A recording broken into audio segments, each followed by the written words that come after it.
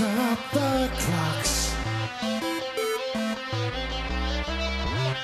Stop the cars.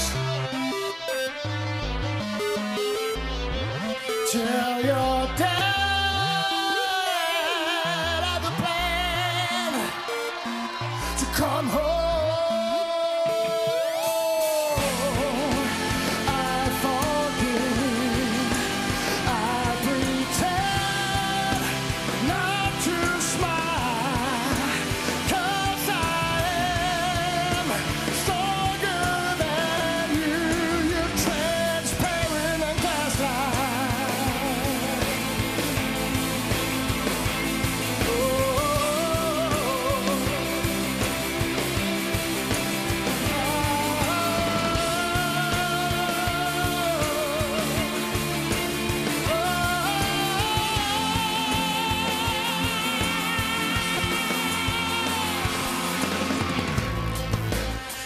Stop the time.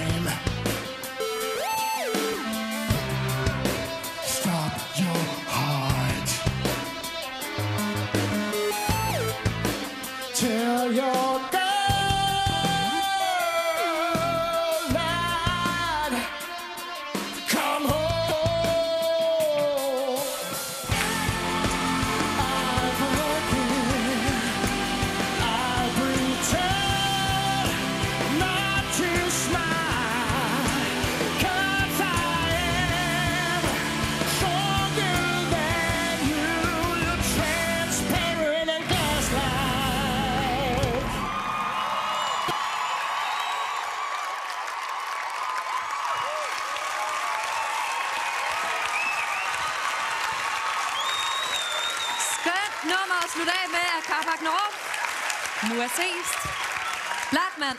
Hvad siger du? Hold da op. I ligner hinanden.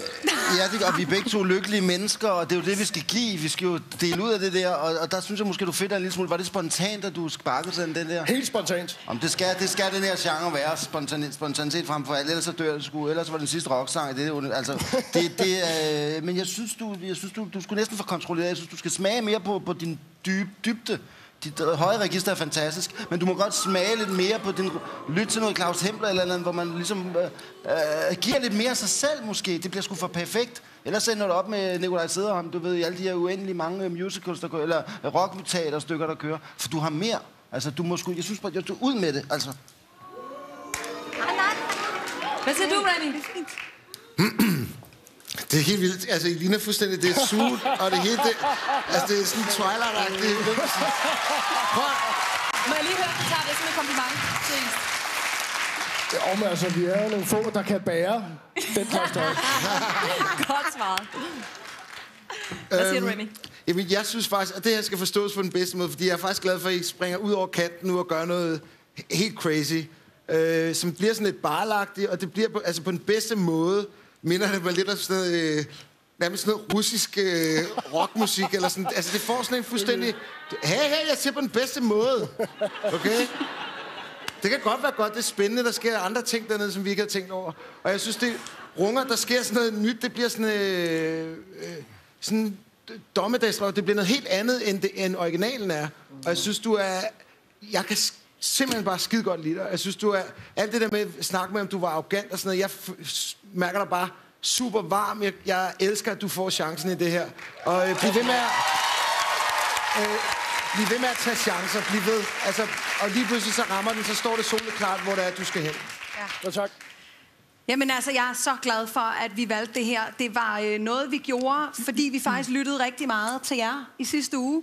Og så sprang vi ud noget rigtig vildt, og det krævede lange samtaler i hele natten igennem. Jeg tror, begge vores kærester har været sådan her, hvad fuck laver de?